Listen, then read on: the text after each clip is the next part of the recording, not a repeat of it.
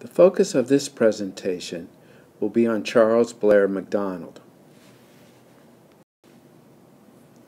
The first winner of the United States Amateur in 1895 was Charles Blair Macdonald at Newport Country Club in Rhode Island.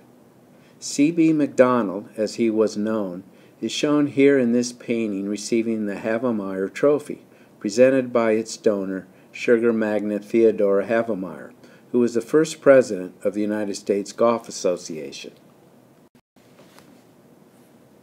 C.B. Macdonald was born to a Canadian mom and a Scottish father and grew up in Chicago. When C.B. Macdonald was 18, he left, which was in 1872, a year after the Great Fire of Chicago, to study at the University of St. Andrews.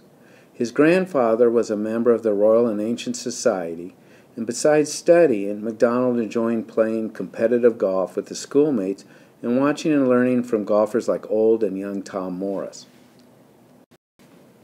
After returning to Chicago in 1875, Chicago had still not recovered from the fire and was in the midst of the first Great Depression of 1873 that lasted seven years. People were working 12 to 16 hours a day if they were lucky enough to have a job which did not leave much time for leisure. Macdonald wrote, Certainly bankers would call in a loan, if one was fortunate to get so rare an accommodation, of anyone who attended to anything outside of business. C.B. Macdonald described this period of time as the dark ages of golf. But by the early 1890s, golf was on the cusp of a boom and in 1895 C.B. Macdonald had designed the first 18 hole golf course, no doubt influenced by playing 18 holes at St. Andrews, the Chicago Golf Club. This is the current clubhouse of the Chicago Golf Club with a statue of C.B. Macdonald out front. Most of the golf courses of the time were laid out with cross bunkers, which were roadblocks like muddy ditches. C.B. Macdonald used some of the strategic design strategies associated with St. Andrews to lay out the Chicago Golf Club, which had the feel and look of a Heathland type of course.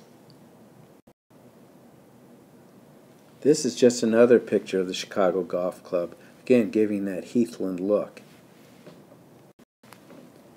C.B. Macdonald was a wealthy man and devoted to the game. As previously mentioned, he'd won the first U.S. Amateur, but he was also one of the founding fathers of the United States Golf Association.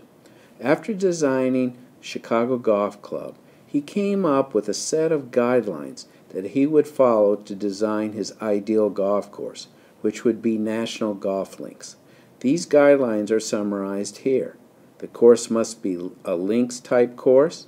His ideal course would contain 18 outstanding holes in his mind, even St. Andrews did not have 18 outstanding holes.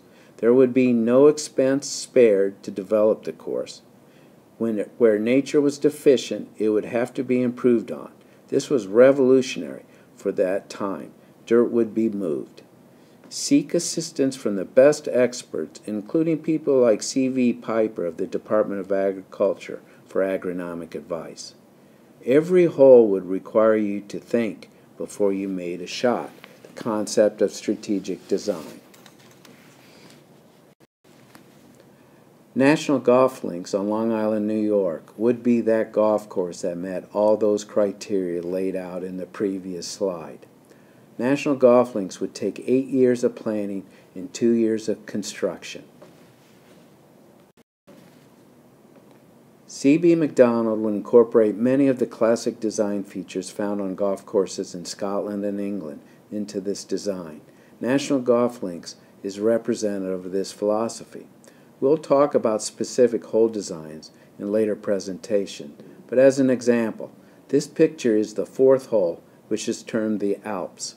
The Alps was a term describing a blind shot, which required a mountain must be carried on the approach shot to the green fronted by a deep cross bunker. The concept of the Alps type of hole was common throughout Britain. The original Alps hole is found at Prestwick.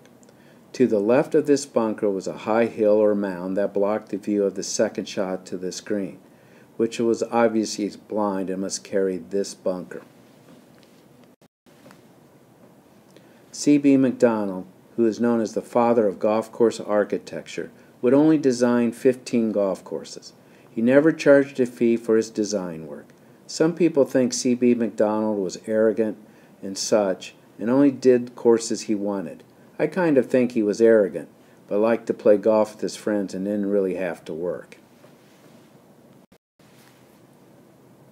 His partner, Seth Rayner, was not as fortunate. He had to make a living. Seth Rayner was a studious person in contrast to the volatile Macdonald. He did not play golf, but absorbed everything he could from Macdonald. He would go on to design courses on his own, many reflecting Macdonald's philosophy, but in his own right, he was a brilliant golf course designer. Long Island, New York was a special place at this time for golf courses. Besides having national golf links, there were several prominent clubs would be built here. One such course is the Garden City Golf Club. It was originally a nine-hole course that was laid out by Devereux Emmett and some of his friends in 1899. The club was incorporated and Emmett remodeled it to 18 holes. Garden City was known for its great turf on fairways and greens. It was said Garden City's fairways were better than most golf course greens. Much of that had to do with the soil that he was fortunate to have built the course on. It was a sandy soil with an alluvial deposit on top, like the Scottish links courses. Emmett was in demand for designing courses after Garden City, but he had numerous failures in trying to duplicate Garden City. He was able at Garden City to design an okay course with great turf for $2,000. He never found the same terrain again. Walter Travis redesigned Garden City Golf Club in 1908, making it a truly outstanding design. This photograph is from the USGA and was taken during the 1936 U.S. Amateur Championship at Garden City. Walter Travis was a fascinating guy who had a tremendous impact on the game of golf through the early 20th century. He was born in Australia, immigrated to the United States when he was 23, and took up the game of golf when he was 35. Besides designing golf courses, he wrote books on golf and founded the American Golfer magazine. In contrast to Macdonald, Walter Travis would often criticize British golf and often was not treated well by them, as you will see at the beginning of the next presentation.